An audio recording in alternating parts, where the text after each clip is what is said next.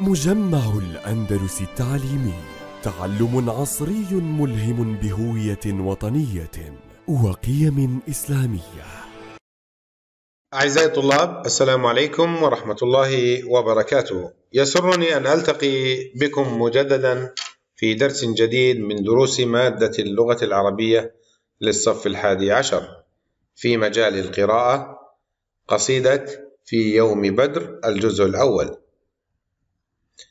عزيزي الطالب يتوقع منك أن تحقق الأهداف التالية.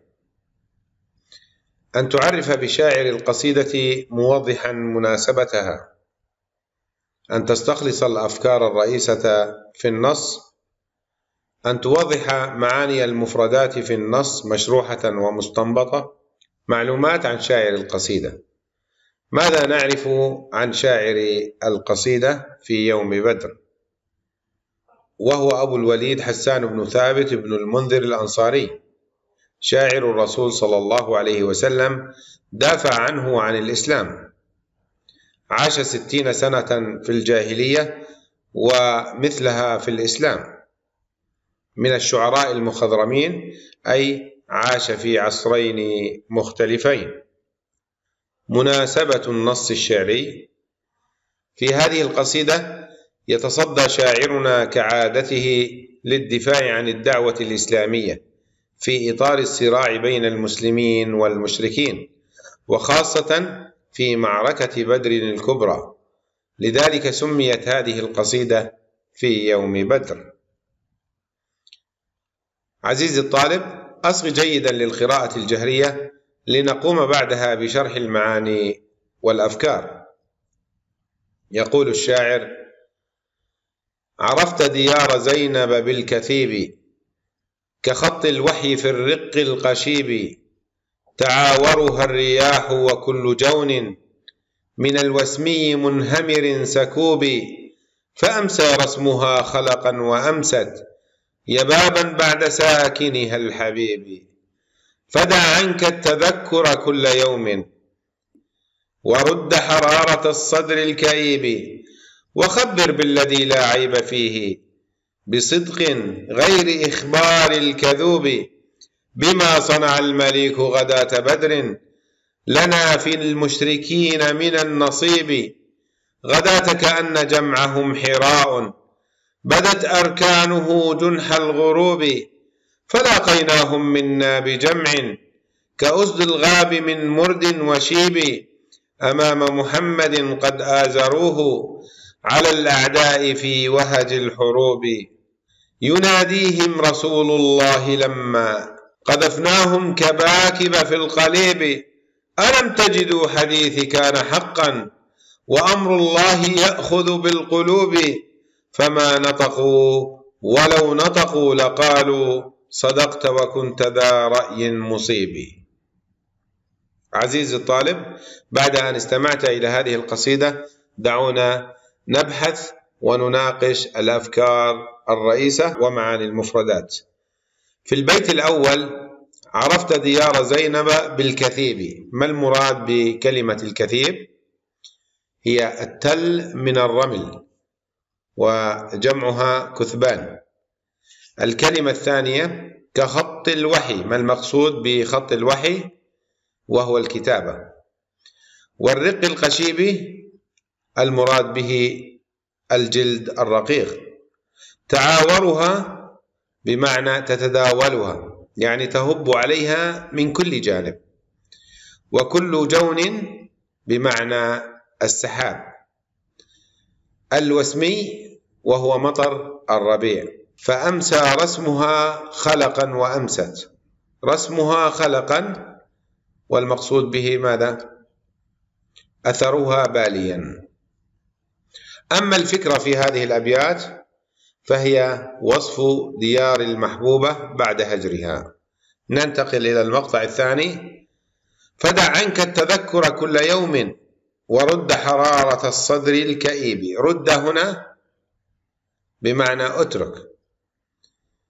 وفي البيت الثاني وخبر بالذي لا عيب فيه بصدق غير إخبار الكذوب والكذوب هو المراد به المحبوبة. بما صنع المليك غداة بدر ما المراد بكلمة المليك؟ الله عز وجل. أما بالنسبة إلى الفكرة الرئيسة في هذا المقطع فهي لا شيء يستحق الذكر غير يوم بدر. المقطع الثالث غداة كأن جمعهم حراء بدت أركانه جنح الغروب. غداة. ما معنى غداة؟ الوقت ما بين الفجر وطلوع الشمس. جنح الغروب كلمة جنح يعني الناحية. في البيت الثامن فلاقيناهم منا بجمع كأسد الغاب من مرد وشيب. ما المراد بكلمة مرد؟ بمعنى شباب. أمام محمد قد آزروه. ما معنى كلمة آزروه؟ بمعنى ناصروه. على الأعداء في وهج الحروب كلمة وهج اشتعال. ما الفكرة في هذا المقطع؟ الفكرة هي شجاعة المسلمين وحسن بلائهم في يوم بدر. ننتقل إلى المقطع الأخير وهو الرابع. يناديهم رسول الله لما قذفناهم كباكب في القليب. ما المراد بكباكب؟ الكباكب المقصود بها الجماعات. والقليب أي البئر. فما نطقوا ولو نطقوا لقالوا صدقت وكنت ذا رأي مصيبي ومعنى كلمة مصيب يعني على حق. أما الفكرة في المقطع الرابع نداء رسول الله وخطابه للمشركين. التدريبات اقرأ النص ثم أجب عما يأتي. السؤال الأول بما استهل الشاعر قصيدته. والإجابة استهلها بالوقوف على الأطلال ووصف ديار المحبوبة. السؤال الثاني ماذا يطلب الشاعر في المقطع الثاني؟ يطلب من نفسه ترك تذكر المحبوبة إلى الحديث عن أخبار نصر المسلمين في المعركة. السؤال الثالث ما الغزوة التي استشهد الشاعر بها في النص هي غزوة بدر الكبرى وقد تغنى بنصر المسلمين فيها. أما السؤال الرابع بما وصف الشاعر جيش المسلمين في المقطع الثالث؟ وصفهم بالأسود باتحادهم صغارا وكبارا ضد المشركين. السؤال الخامس إلى من وجه الرسول النداء في المقطع الأخير؟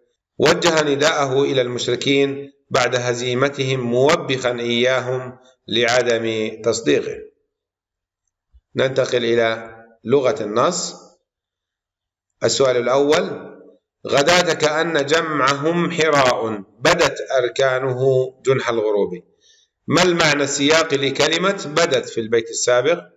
بمعنى ظهرت. السؤال الثاني استنتج معنى الكلمة التي تحتها خط ومضادها فيما يأتي.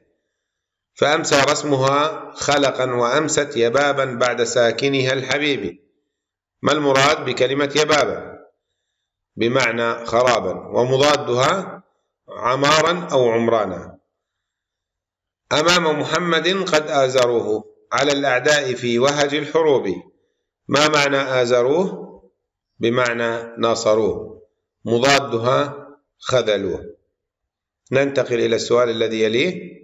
السؤال الثالث مستعينا بالمعجم مستعينا بالمعجم مستعينا بالمعجم. ابحث عن المعاني المختلفة لكلمة وحي. هناك عدة معاني لهذه الكلمة منها الإلهام الكلام الخفي.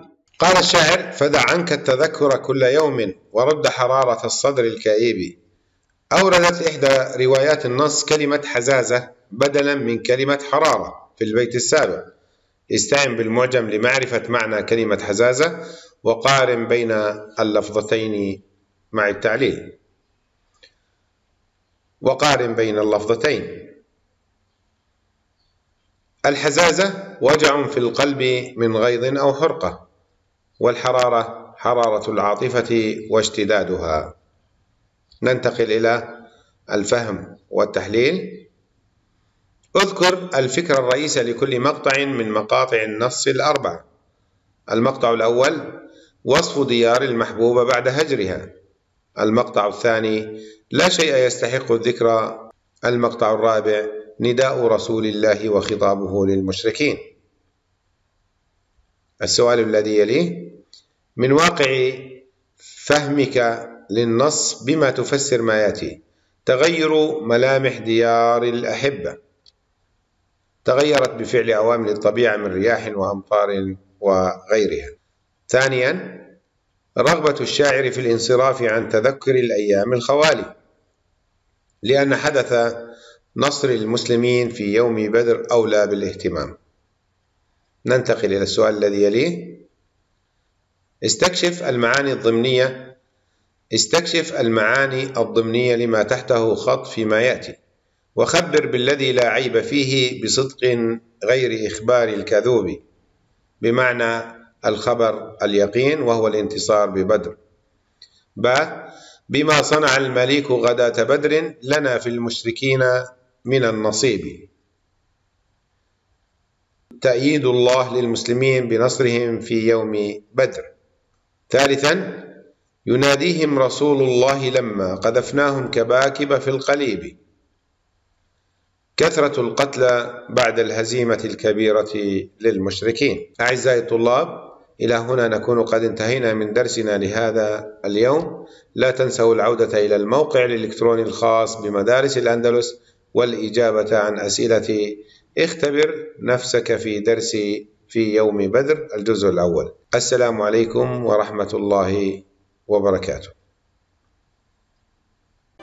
مجمع الأندلس التعليمي تعلم عصري ملهم بهوية وطنية وقيم إسلامية.